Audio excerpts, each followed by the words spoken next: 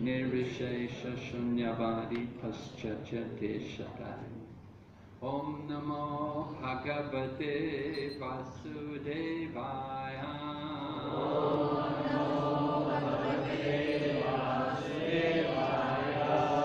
नमो भगवते वासुदेवाय।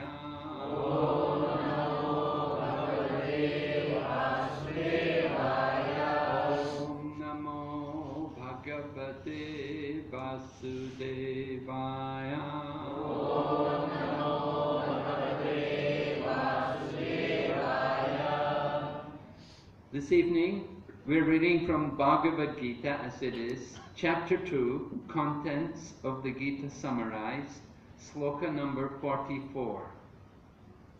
Bhogaishvarya prasaktanam. Taya parita chetasam Vaya vasayatmika buddhi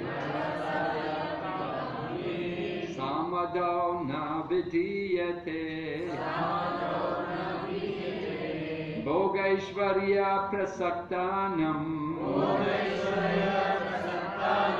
Aya parita chetasam Vaya vasayatmika buddhi Samadao na vidiyate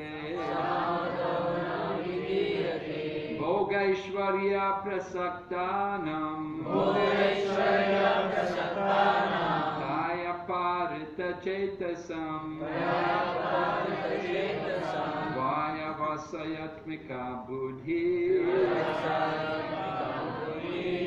समादौ न विधीयते।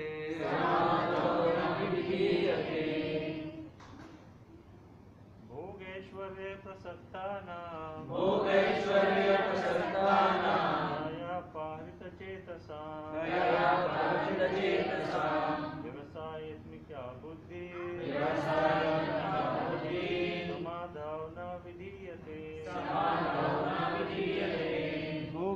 भोगैश्वर्य प्रसक्तानां भोगैश्वर्य प्रसक्तानां अपहृतचेतसा प्रचेतसा व्यवसायात्मिका बुद्धिः समाधौ न विधीयते। समाधौ न विधीयते। Marriages? भोगैश्वर्य प्रसक्तानां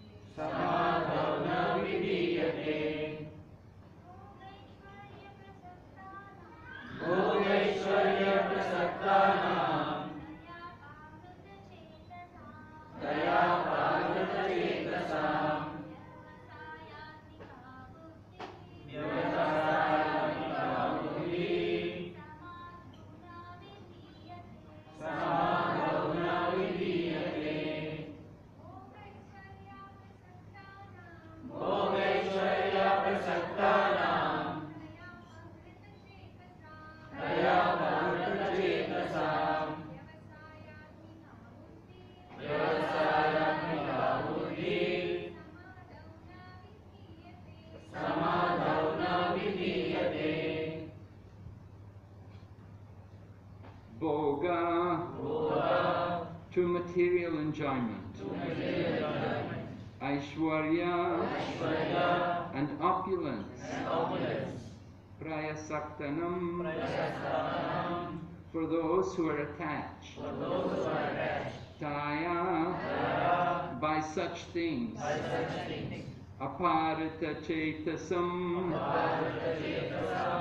bewildered in mind. Bewildered in mind Vaya vasaya atmika fixed in determination. Buddhi, devotional service to the Lord. Samadao, in the controlled mind. Na, never. Vidiyate, does take place. Translation. In the minds of those who are too attached to sense enjoyment and material opulence, and who are bewildered by such things, the resolute determination for devotional service to the Supreme Lord does not take place. You can all please repeat. In the minds, of those who are too attached, to sense enjoyment, and material opulence, and who, who are bewildered, by such things. The resolute determination, for devotional service, to the Supreme Lord, does not take place. Purport by His Divine Grace, A.C. Bhaktivedanta Swami, Srila Prabhupada. Samadhi means fixed mind. The Vedic dictionary, the Nirukti, says, Samyak adiyate smin atmatattva yatatnyam. When the mind is fixed for understanding the self, it is said to be in samadhi. Samadhi is never possible for persons interested in material sense enjoyments and bewildered by such temporary things. They are more or less condemned by the process of material energy. Om Jnana Timarandasya Jnananjana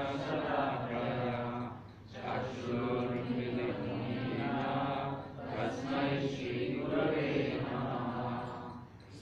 चैतन्यमनोविश्वं स्थापितं येन भूतले। स्वयं रूपाकनामयं ददाति स्वतमन्तिकं वन्देऽहं श्रीकरो श्रीयथापदकमलं, श्रीगुरुन् वैष्णवंश्च। श्रीरूपं सन्द्रजातं सहागम्।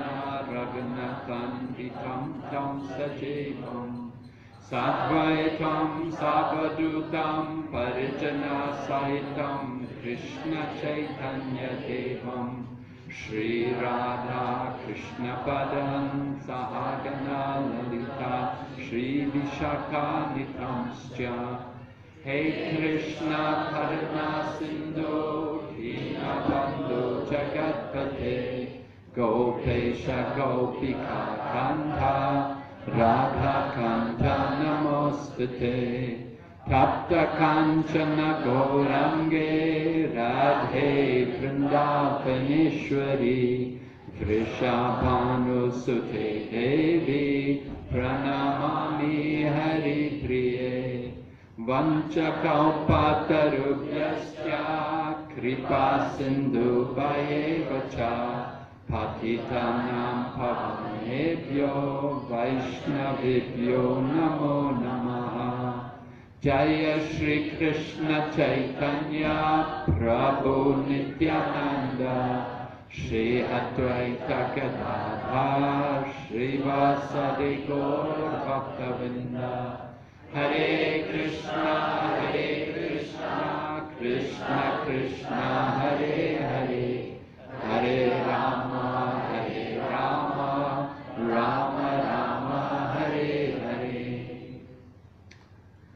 Lord Krishna is instructing Arjuna in the process of yoga. And he is pointing out some obstacles which are there in the path of spiritual life. These two things are mentioned, Boga and Aishwarya. This word Boga was, uh, there's an interesting story about the word Boga that uh, the, the devotees in the temple Prabhupada was telling them, uh, make sure you have lots of boga. And the, the devotees didn't know what boga was, you know, and they were wondering, what, what is that preparation? You know, we never, nobody showed us how to make boga before. We, it was a big puzzle to them what they were supposed to do, how to prepare boga. And then when Prabhupada finally uh, arrived, he explained that boga means what you have before you offer it to Krishna. Once it's offered to Krishna, then it becomes prasada. But before offering it to Krishna, it's called boga. When you go to the market, you go to the market to purchase the boga, right? And then you bring the boga back from the market, and then you cook, and then you offer to Krishna, and the boga becomes prasada. So here in this verse, Prabhupada translated the word boga as sense enjoyment, sense pleasure. Sometimes the person in charge of the kitchen will say, Who's taken all the boga? you know, the person's trying to run the kitchen and he thinks he has a lot of boga, and somebody else comes along and they make a big preparation, use up all the boga, and there's no ghee left, or there's no sugar left, or something. And so, something they say, who's taken the boga? Boga means sense gratification. Now, we should understand sense gratification and also Aishwarya, material opulence, are not wrong. And in fact, they're both also relative. It will be different for different people. What is opulence for a Singapore person? You know, it, it may not be so opulent for someone from Los Angeles. You know, somebody in Singapore may think, oh, so luxurious.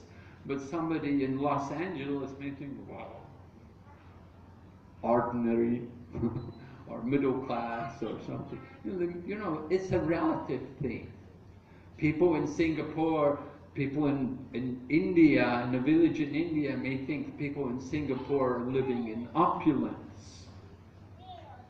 It may be considered compared to people in a village in India. But, you know, for other parts of the world, not everyone considers Singapore to be so opulent. It's very relative. That's the point. And similarly, sense gratification is also relative. Just like when it comes to eating. Somebody eats a lot, and somebody can eat very little. You know, we know some ladies, they, they eat like a sparrow. They eat very little, you know.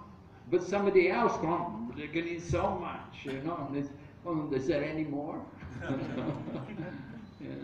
You know, different strokes for different folks, different people, and they have to eat according to their nature. Some people can eat lots and digest very quickly, and other people eat a little bit and have a still don't digest it. So it's different for different people. However, Lord Krishna is not pointing out that sense gratification and opulence are wrong. Don't misunderstand what Krishna is saying here. Sometimes people think, oh, it's wrong to be opulent. Oh, it's wrong to have sense gratification. No, but what is wrong is if you're overly attached to it. If the attachment to these things is excessive, that is a problem. If, you're, if we're bewildered by it, if our minds become disturbed by it, that is what Lord Krishna is concerned about. We want to come to the stage of samadhi. In the purport, Prabhupada's talking about having a fixed mind, controlling our mind, making the mind steady. And the, the, the, the criterion for controlling the mind is that you're not disturbed by different conditions. We saw the example of His Divine Grace, Srila Prabhupada, how he could come to Hong Kong. Now, when he came to Hong Kong, the devotee in charge of the center there arranged that he would greet Prabhupada in a Rolls Royce car.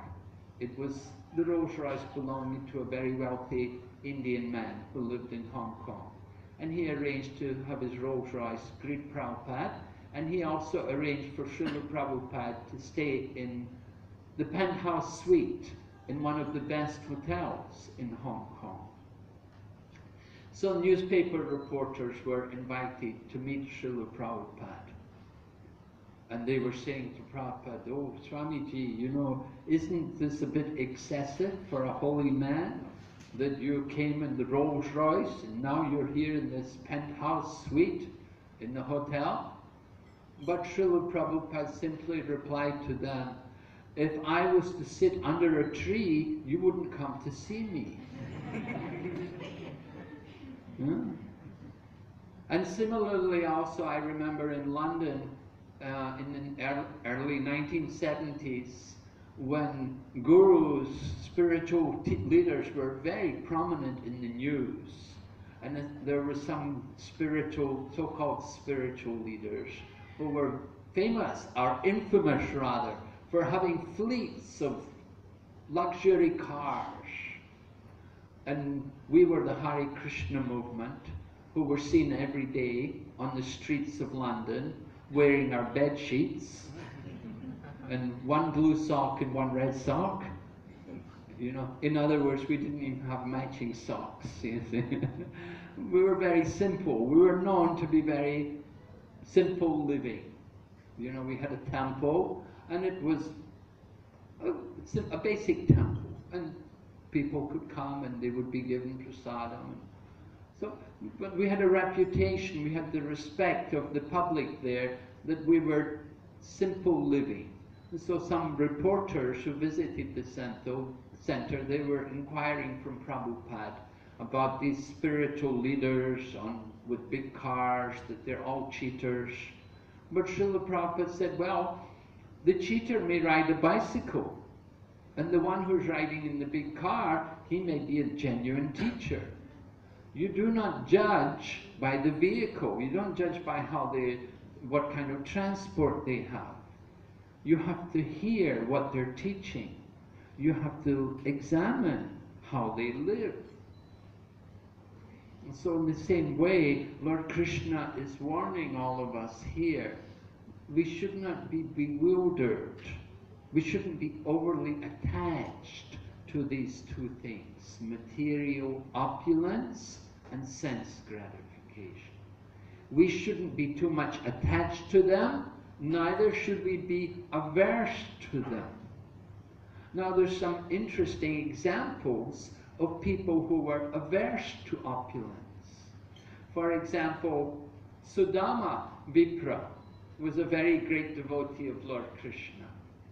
But he was very attached to being poverty stricken. He wouldn't even go out and beg. Now, as a Brahmana, he had the right to go out and beg. But he wouldn't go out and beg. And he and his wife were living in abject poverty. They had nothing. And even when it came to Sudama having to go to Dwarka to see Lord Krishna, he wanted to take something, to bring something to offer to Krishna. But they had nothing. His wife had to go. His wife had to go and beg. Sudama couldn't go and beg. I can't beg. I'm not going to go. But his wife went and got some dry rice from some neighbor. And Sudama took that to Dwarka. So Sudama was averse to opulence. And you see the result?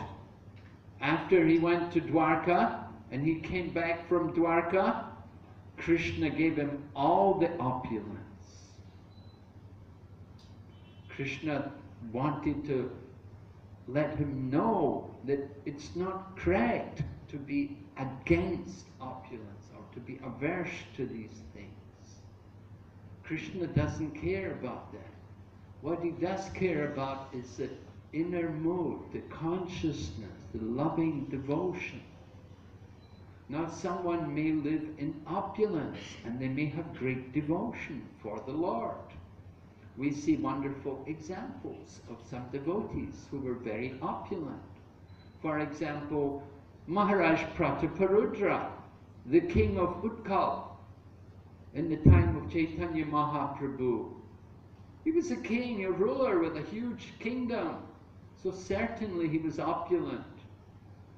And Chaitanya Mahaprabhu was refusing to meet him because he said he's a king, he's a worldly person.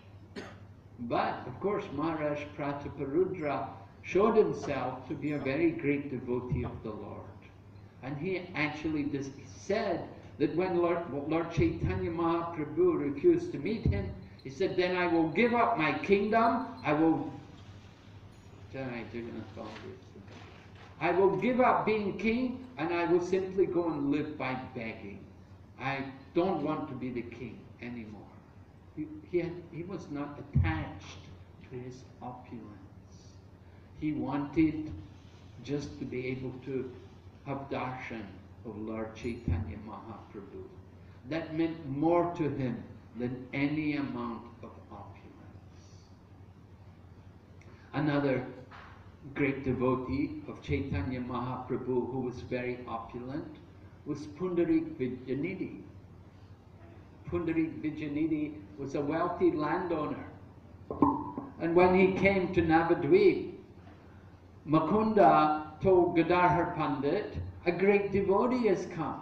You must go and meet him.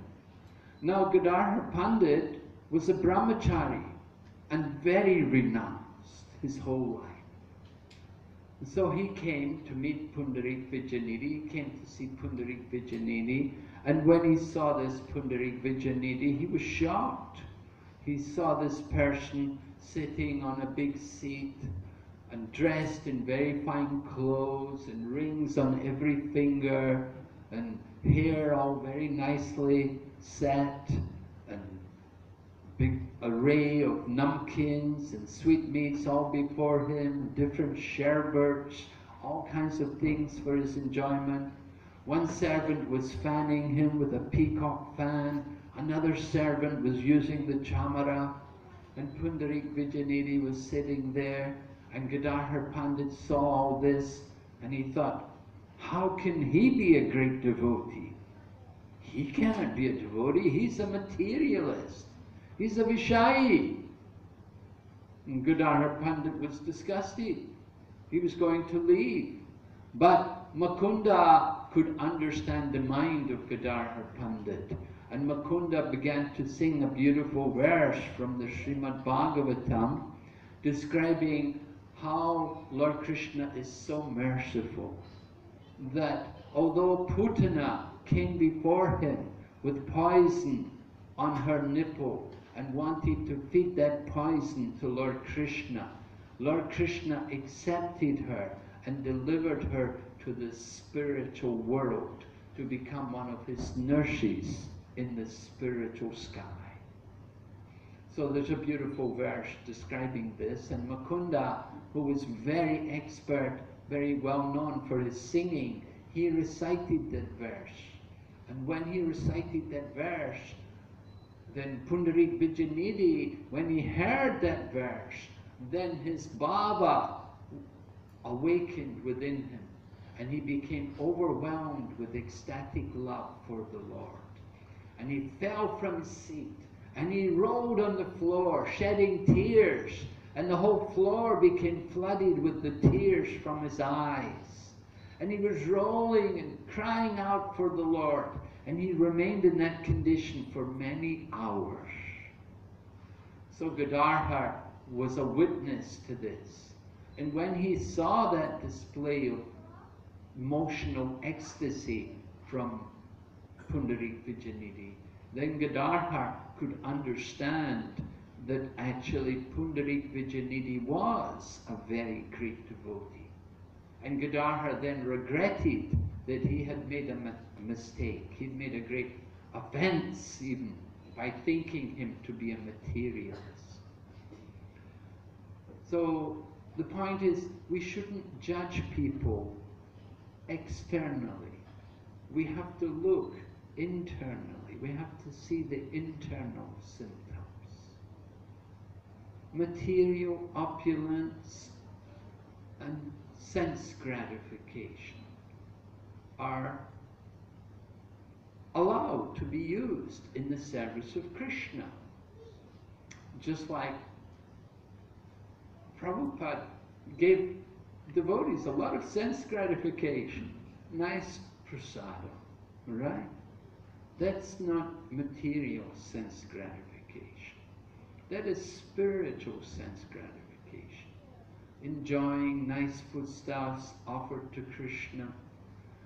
I remember distributing, you know, we have these cookbooks. So the, the devotee in Australia, Kurma Prabhu, does he come here sometimes?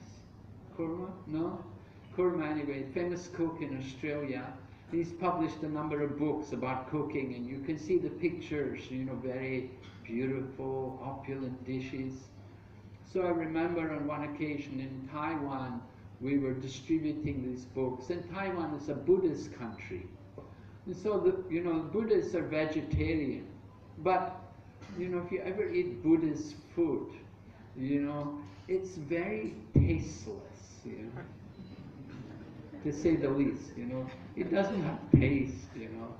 Because they consider if it's too tasty, that's sense gratification. So I remember showing the book, the pictures of the vegetarian dishes to some Buddhists. They said, oh, this looks very sensual. This is just sense gratification. You know, we would say Maya. And he was, he, he didn't say Maya. But he said, this is just material enjoyment. You people just eat all these nice dishes for the pleasure of your tongue. He could not understand that no, we, we cook for Krishna. Krishna is Bhagavan and he deserves the best. We cook opulent dishes for his pleasure, not for our own pleasure. We're doing it for the pleasure of Krishna. A Buddhist cannot understand these things. It's beyond their mind, you know, beyond the ability of their limited mind and senses to understand that there's a supreme personality of Godhead and that we are his servants. However, this is our principle, that we satisfy the senses of Krishna. And by satisfying the senses of Krishna, we also feel pleasure. Just like opulence, the proper use of opulence is in the service of Krishna. We have wealth, we use it to build big temples for the worship of the Lord. And as devotees, we're not expected to just live in mud huts, but we should live in this, this a similar standard to how other people live. And Prabhupada liked to see that. He didn't expect that devotees had to be, you know, like Goswamis living under a different tree every night. you know, that's not required in this age. Rather, we have to show people how to use everything in the service of Krishna. What we call yukta vairagya, renunciation in relation to Krishna. So we accept opulence and sense gratification in relation to Krishna. Nice cars. We also use cars to go and preach, to go out and visit people. Bhaktisiddhanta Saraswati Prabhupada, the spiritual master of our own founder Acharya, Srila Prabhupada, he was innovative in utilizing this principle given to us by Rupa Goswami of using everything in the service of Krishna. Previously, before his time, holy men or sadhus or sannyasis would walk barefooted everywhere. They would go walking barefoot. But he came in a big car. But he would use that opulence to impress the leaders of the government, different political heads and statesmen, and to get their attention, and impress them, and in this way he was able to bring them to Mayapur and to show them the holy Dham of Mayapur and to establish what was the actual birthplace of Lord Chaitanya Mahaprabhu. So Bhaktisiddhanta Saraswati was revolutionary in this matter. Other holy men were walking barefooted and he would ride in a big car. Was it Maya? No, we have to understand the inner consciousness that he was accepting that opulence and to use it in the service of Lord Krishna. So in a similar manner, we can also utilize material opulence. Sense gratification. Srila Prabhupada talks about sense gratification. He said, everyone needs some sense gratification. He gives an example. If you cook and you don't put any salt, then no taste. The food doesn't taste good. And if you put too much salt, then it's also not good. Taste is wrong. Oh, disgusting, too much salt. Sense gratification has to be there. How much sense gratification are we allowed? That is given to us by the scriptures. The scriptures guide us in the proper amount of sense gratification. The scriptures don't say that you have to you have to starve, but they say don't eat meat, fish, and eggs. Eat pure food.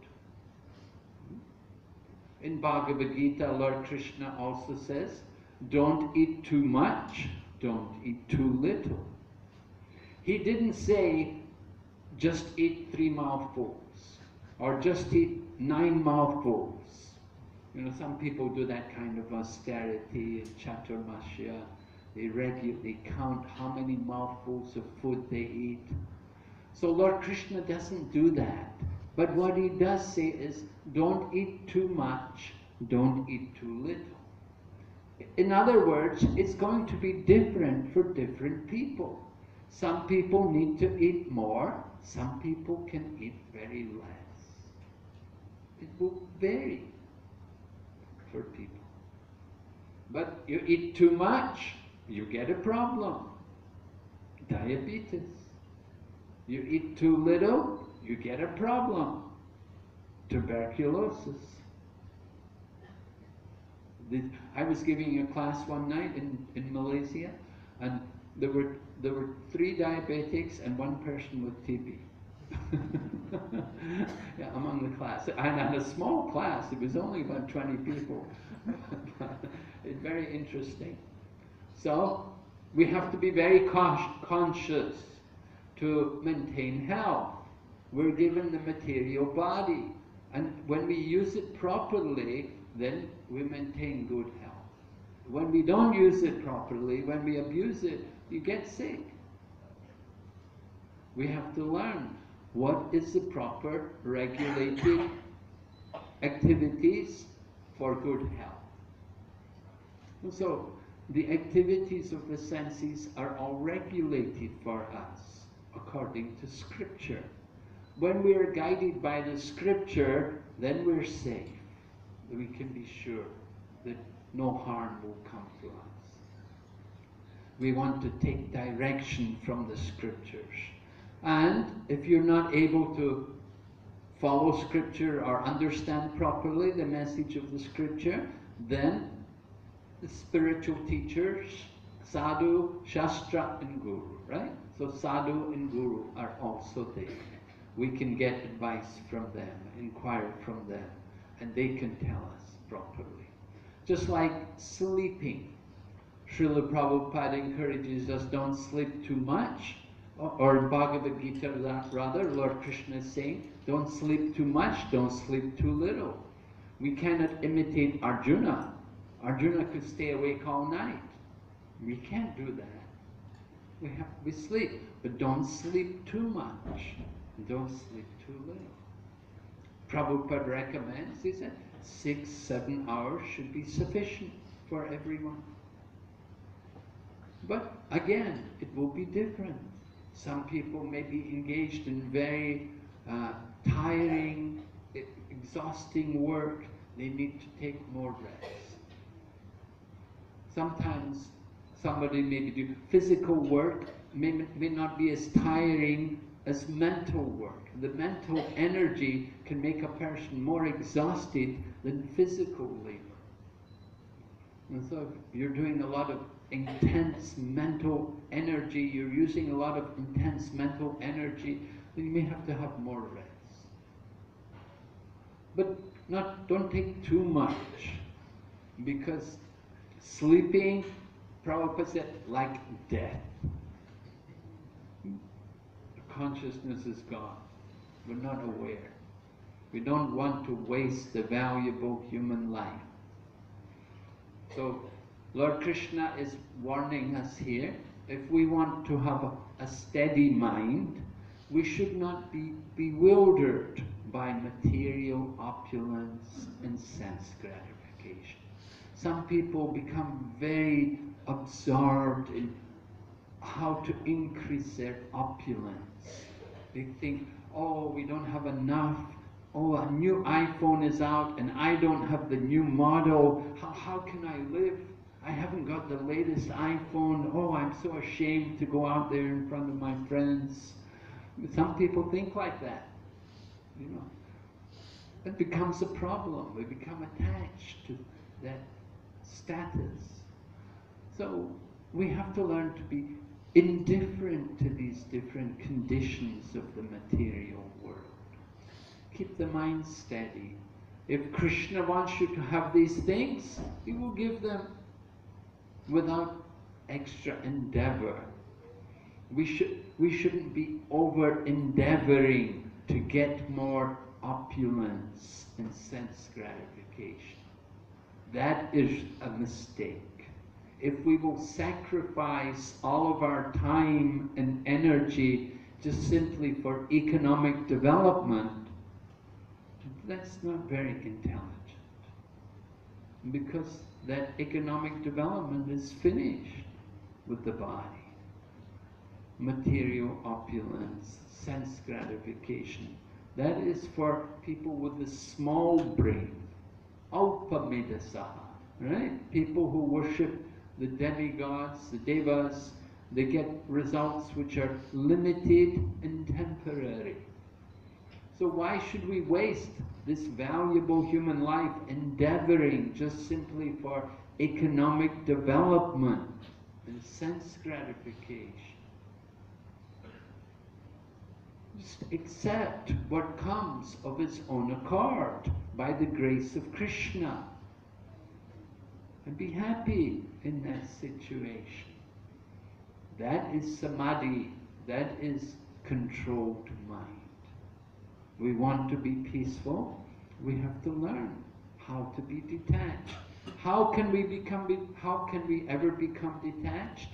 We have to replace all the activities of sense gratification with spiritual practice. We have to have a good sadhana. In other words, we spend time every day to chant the holy name and to hear scriptures like Bhagavad Gita. If we're not hearing scriptures and chanting the holy name, then certainly we'll easily become prone to all the passion of the material world. The material energy is very powerful. It is Krishna's energy. And when we forget Krishna, then Maya comes in, immediately grabs us, and takes us into the modes of nature. And we forget Krishna, we've forgotten Krishna, we become a, puppet of the material energy. One thing after another. We're simply concerned, I want more opulence, I want more sense gratification.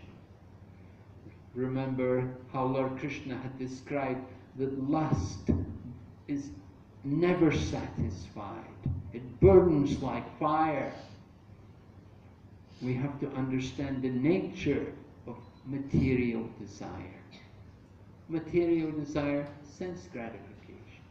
Economic development is just simply another way of saying sense gratification.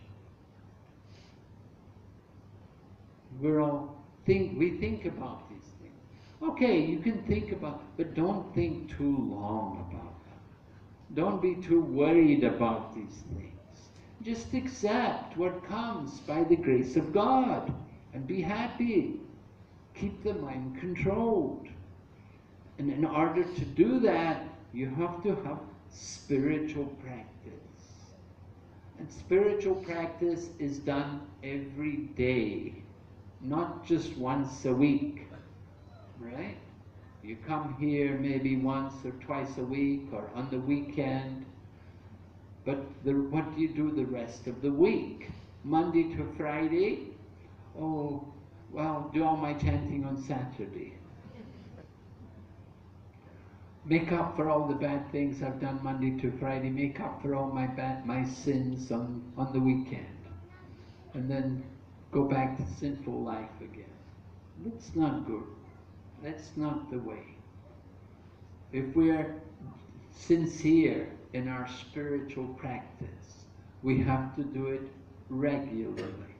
I'm talking daily, every day. Just like medicine. Usually medicine, you take it daily. So in the same way, our spiritual practice requires daily practice. Every day we have to chant the holy name. Every day we want to hear from the scriptures. We have this valuable human life. If we just waste it in in-depth working hard for sense gratification, then at the end of life, what do you have to show? You will leave all your iPhones and computers and cars and everything. They're all left behind. We don't take them with us when we go. All of the money, the bank balance and everything, it's all left behind. We cannot take anything with us. Of course, we do take our karma.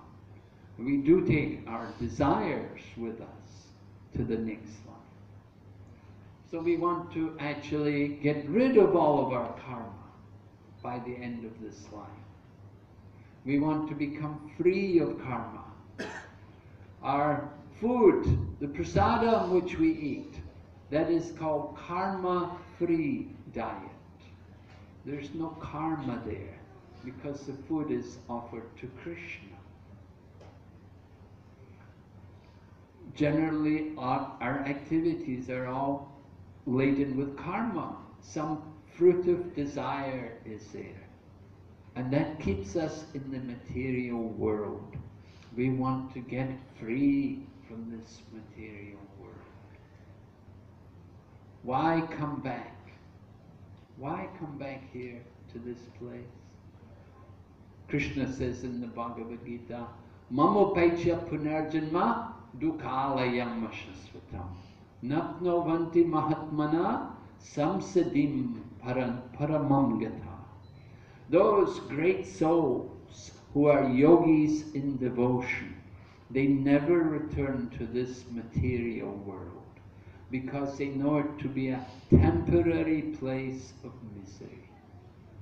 Srila Prabhupada talks about this word dukhalaya. He said just like you have grantalaya, the place of books, and you have uh, Bhojanalaya, place of food, Himalaya, place of snow. So, Dukhalaya, this planet, place of misery.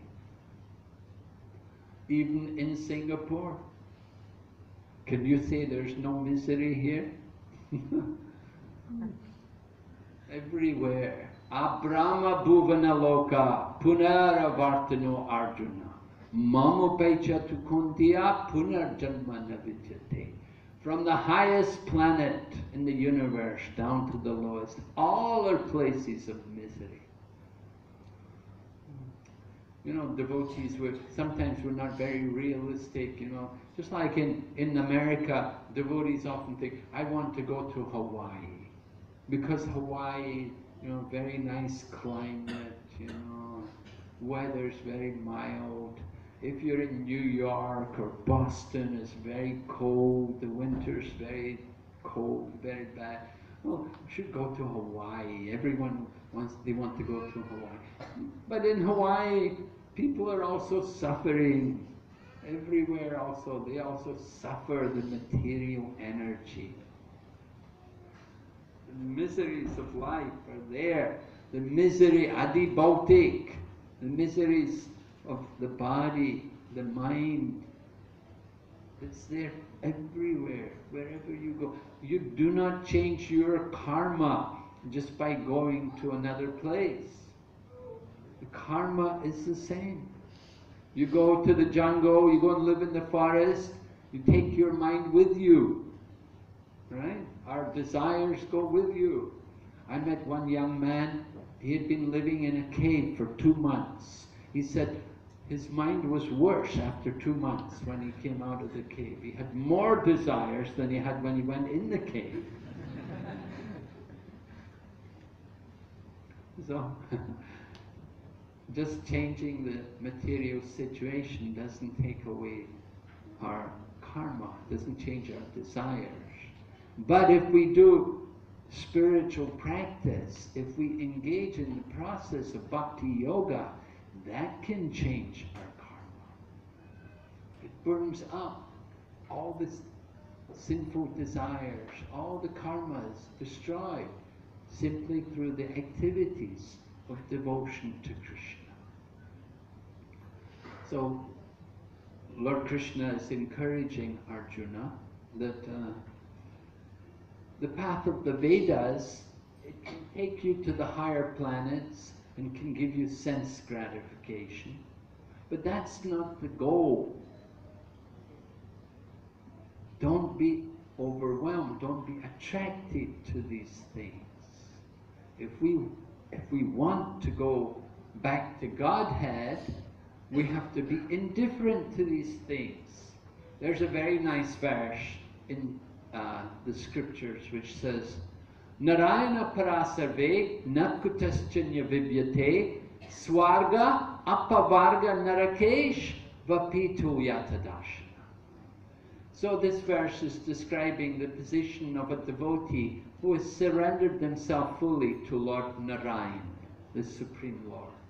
It says, the devotees of Lord Narayan do not see any difference between Swarga, Apavarga, and Narak. Swarga, heaven, Apavarga, liberation, and Narak, hell. For a devotee of the Lord, these places are all the same. He sees them all the same. Heaven, hell, and liberation. There's no difference because wherever the devotee goes, he's going to do his service for Krishna. He's going to chant the holy name. He's going to worship Krishna, offer his food to Krishna. Just like devotees, wherever they go, they have the same program. Wake up early in the morning, chant the holy name, go to Mangal Arti, do Tulsi Puja, then cook for Krishna, hear Srimad Bhagavatam, like that. Wherever they go, it doesn't matter if they're in Singapore, or if they're in Vrindavan, or Los Angeles, wherever they go, they're doing the same things, the same program. It's the same program. Every center of Krishna consciousness around the world, they have the same program every day.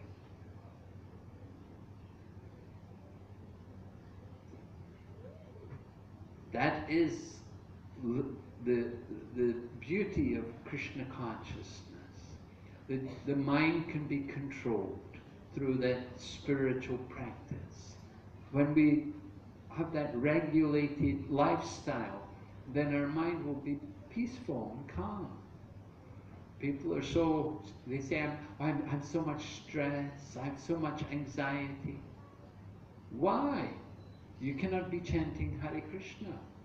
You're not, if you, if you see you are chanting, then you're not chanting enough. You need to chant more. You need to hear more.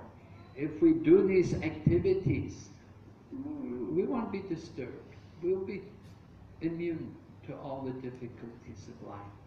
And we see nice examples, devotees, how they tolerate so many difficulties and they go on with their life every day chanting, serving Krishna. You want to control the mind? There's a science, there's a process, you do it. You just take part in these activities. You stay with the devotees, come and stay with the devotees. Every day you can do that program, waking up early, chanting the whole every morning. It's so satisfying. One one uh, Indian lady I know, uh, she she's a disciple of Gopal Krishna Maharaj, and her husband was working in China, so uh, she went with him to China, and uh, she wanted to go and stay in our center in Hong Kong. So we arranged that she could go there and stay in the temple in Hong Kong. And she stayed there for a few weeks and she said it was so wonderful every day to have the full program in the temple with the devotees. She said, I feel so peaceful and happy. A practical example. You, when you do these things, you, you know, take advantage of the Krishna conscious center to hear and chant, then we forget all the anxieties of life. It's all forgotten about by serving Krishna. So that is Yukta Vairagya, using everything for the service of Krishna. There's other kinds of Vairagya, Falgu Vairagya, giving up everything, renouncing everything. It's not necessary. We can use it for Krishna. And the Goswamis also, they utilize wealth. When rich men came to them, then they utilized their wealth to build nice temples for Krishna. Another kind of vairagya is uh, uh, markata vairagya, monkey renunciation, right? People see the monkeys and they think, oh, these are very renounced. These monkeys, they're really renounced. They live in the tree naked, but we know they're not renounced at all, right? They have so much sense gratification. They're big families, so many wives and so many things, nonsense they're doing. So that's marka vairagya. So actual renunciation is yukta vairagya, using everything for the service of Krishna. There's also smasana vairagya. Smasana vairagya, you go to the funeral. When you go to the funeral, somebody died, oh yeah, life is no purpose, there's nothing, no meaning to life, oh yeah. You know, the next day there's a wedding party and everyone's enjoy. You know, it's all forgotten about. So smasana vairagya, the renunciation at the crematorium, doesn't last very long. That is also not proper renunciation. Proper renunciation is using everything for the pleasure of Krishna. We want to do that. Okay, so we'll stop. We'll ask, is there any questions? Some questions, something we can elaborate on? Some points maybe I have not covered properly?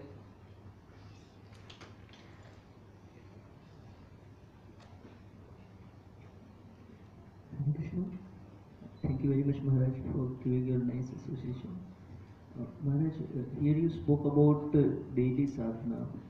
So actually, in one sense, you know, in know the solution kind of, but it's you know it's not working out. I mean, automatically sadhana goes down. Sometimes like you come some Maharaj from the give association, we feel inspired, we go on for some days, but then again dies down. Well, I said you come and live with us, right? That's the solution. You move in the temple. Now many young men are living also in the centers.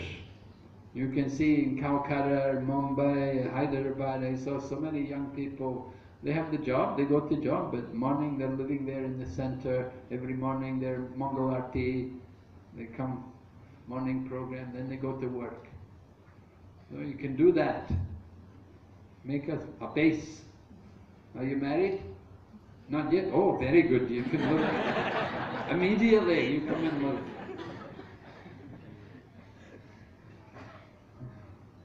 Yeah, you're a lucky man. You can still come and live with the devotees. Even you're married, we don't mind. You can leave your family, come and live with us. Wife will be happy also.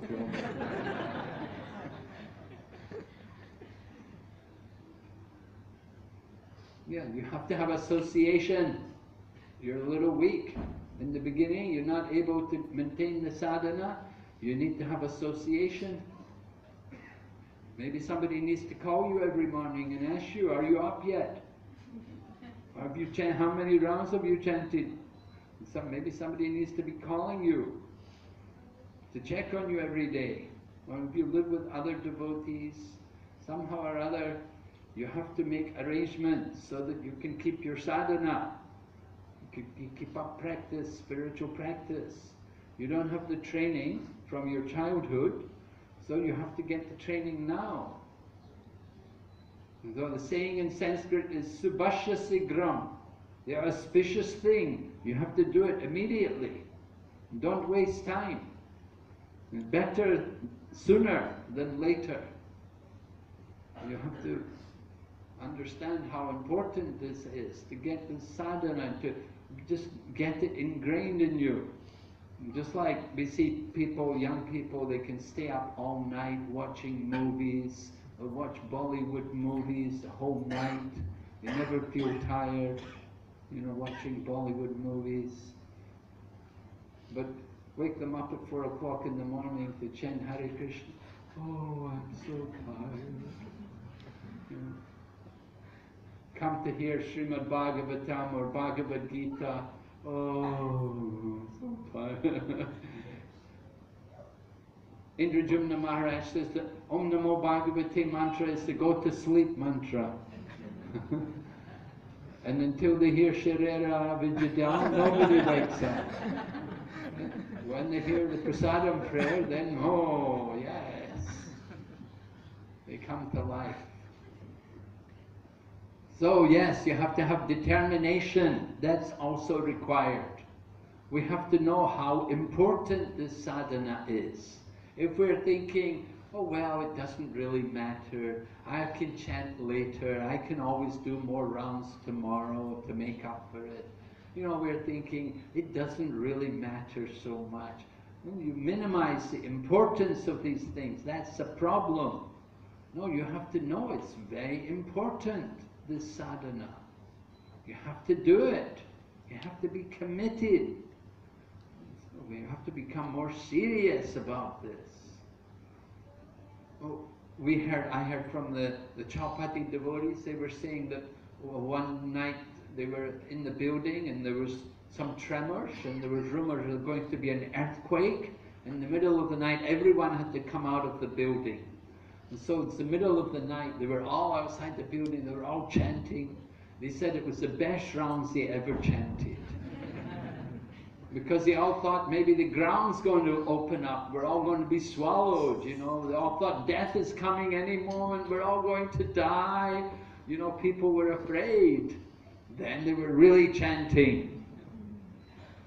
You know, so if you're thinking like that, like Maharaj Parikshit, seven days to live, he didn't eat. He didn't drink water. He didn't sleep for seven days. He didn't want to waste a moment. We don't know when we're going to die. So this sadhana is so important. This is we have to prepare ourselves for getting out of this world. Every moment is important. Prabhupada quoted Chanakya Pandit, you can, you can buy, you cannot buy a moment of time for any amount of wealth. So don't waste time. And if you're not doing your sadhana, then you're wasting time. You must be. What are you doing? Sleeping. Doing some other thing, watching cricket or, you know, Bollywood or something. Yeah, waste. We waste time. We time to do so many other things. Sadhana. Oh, tomorrow, next day, next life. yeah, we, we want to put everything off. This very dangerous, very big mistake. We should understand how rare, how fortunate we are to get the association of devotees. It's very rare to get so there's 8 million, 80, 84 lakh species of life and only 4 lakh human species. So we have the human species, that's rare. But even more rare is to get the association of devotees. To have that opportunity to associate with devotees and to practice the principles of Krishna consciousness. You know, there are so many other people they don't know about sadhana. They never heard about it. Nobody ever told them that they're supposed to wake up early in the morning and chant the holy name. No one taught them to read the scriptures. But we know, if we know these things and we don't do it, then we're really stupid. We're really foolish. We're really wasting the life. Because we've been given the opportunity and we don't take it. Very unfortunate.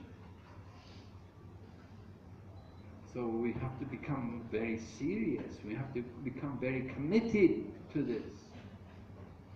That's why initiation is there, particularly people who accept initiation from a bona fide spiritual master. Then they make a commitment to this thing. They've, they've committed themselves to the practice of chanting the holy name, practicing the regulative principle. Prabhupada says initiation means material life is finished. No more material life.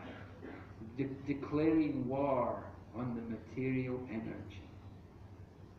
So Prabhupada, by giving this Krishna consciousness movement, he, he's given all of us this opportunity to get out of this material world, to overcome this material energy. If we don't take advantage, when, then we are really foolish.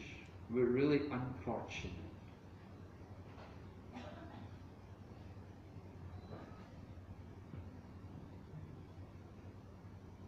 So you have to be determined. So how do you get that determination? Chanting. Everything comes from chanting. You have, we have to really take shelter of the process of chanting the holy name. We have to, we have to really want to get a taste and become committed to that, to doing this chanting. That's our first, should be our first business, to chant the holy name.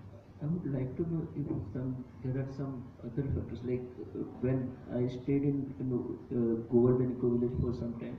It was like I was able to do kind of more naturally attend morning program and all these things. Here it naturally becomes very tough. So I mean, is there some specific factors that affect uh, that I should take care? Because association here in Singapore only weekends we get. Otherwise, it's you know very difficult. Well, you have to get a group of devotees together and live with them. Find some other single men, other people who have a desire to practice Krishna consciousness more seriously. There must be some other people in a similar situation to yourself. It Doesn't have to be many, even one or one or two, but you know, you get a, somebody else, some company with you, then it's much easier. You help each other to do the chant, to take part in chanting. I remember when I first came to Singapore, that must have been in the 1990s, uh, at Spottiswoode Park, there were some devotees living there. There was a group of young men at that time, they were all living there. They, was, they rented an apartment and they were staying together. We didn't have the Gauranga Hall at that time. But they were living together. So you have to you have to try to arrange that, you know. Put some message on the internet that I'm looking for some people who are interested to come together.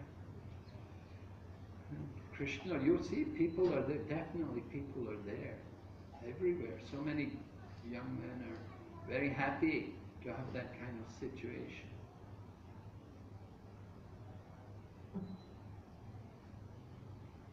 Yeah, you have to simply find some people, get some group, make a group together, and find a place. Problem solved. Hmm? There's a number of Bengali devotees, probably. isn't? They're probably they have probably they have a center, they have a place. They're living together.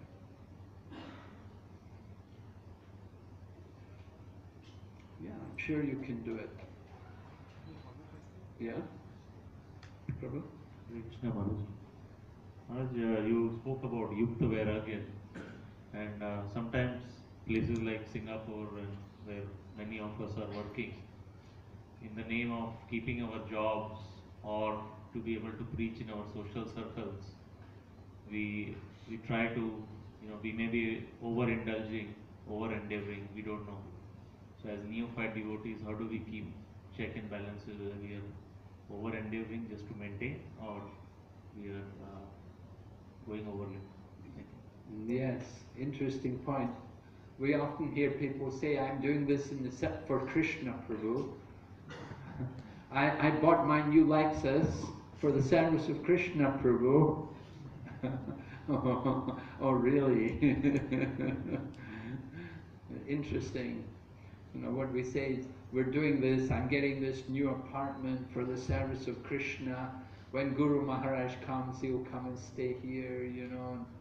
Of course, Guru Maharaj will come maybe one, two nights in a year or even less. the rest of the year, you know, you enjoy the new apartment. so, what is Yukta Vairagya? What is the proper level of Yukta Vairagya? How to understand these things? We have to be guided by Shastra, Sadhu, Guru. If we're not sure ourselves, if we think maybe it's some sense gratification, then you can inquire from others. What do you think? Is it, do you think it's allowed? Is it? Do you think it's a good idea or not? You have to consider also: Are you getting overly attached to this? If we're becoming too much attached to it, then it's not good. If you can accept the opulence, if you can accept it without you know, being this, without being over, overwhelmed by it. In other words, you you know, you get the new car, you become very proud. The ego, ah, I am Lexus, I am you know, Rolls Royce or whatever. You know, the, if, if our ahankara, that false ego, is increasing, then that's not good, right? We want to consider opulence, everything as a gift of Krishna by the grace of Krishna we're given these things. So we recognize whatever we have in the world as gifts, blessings from Krishna. But if we're for becoming forgetful of Krishna as a, on account of the opulence, then it's not good. We see Sudama, I gave an example of Sudama that Krishna, when he went, when Sudama went home, and Krishna had given him the beautiful big house and his wife was all dressed in beautiful clothes and jewelry, and they had servants and so much opulence. And Sudama accepted all of that opulence in the mood of renunciation. It increased his devotion to Krishna. So if opulence and sense gratification, if, if it's helping us to become more conscious of Krishna, then, then it's very good. If we're, if, if we're thinking more about Krishna, then the, there's no harm. Definitely, that's what we want. We want to be able to remember Krishna. But if we're thinking, by my hard work, I have got this, I have been successful, I have worked hard, so I'm having, hmm, we have to understand everything is the blessings of Krishna, the grace of Krishna. Krishna gives, Krishna takes. A devotee surrenders to Krishna. Sometimes Krishna gives, and sometimes Krishna takes. Devotee always remains surrendered servant. Prabhupada said his father used to tell him, God is like a person with ten arms. So if somebody with ten arms wants to give, he can give so much. And if that same person with ten arms wants to take, then he can take everything also. Devotee, but devotee remains surrendered to Krishna. If he takes or if he gives, this is Krishna's mercy, Krishna's arrangement. Krishna knows what is good for us. So yeah, people do, we do have that tendency as devotees, we talk about, oh, this is for Krishna, Prabhu, it's all for Krishna. Hmm. Yeah, we have, to, who knows if it's for Krishna or not? Well, the time of death, we'll find out, right? That's the real test. The final exam comes at the end of life, if we're able to remember Krishna, if we're able to attach ourselves to Krishna. We're not attached to the opulence.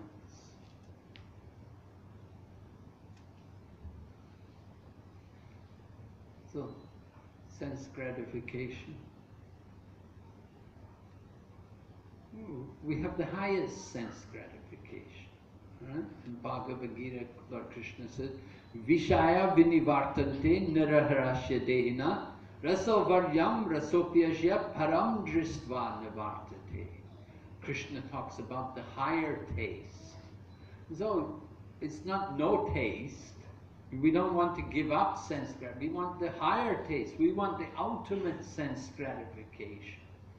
The highest sense gratification comes in serving Krishna, chanting and dancing, taking prasadam.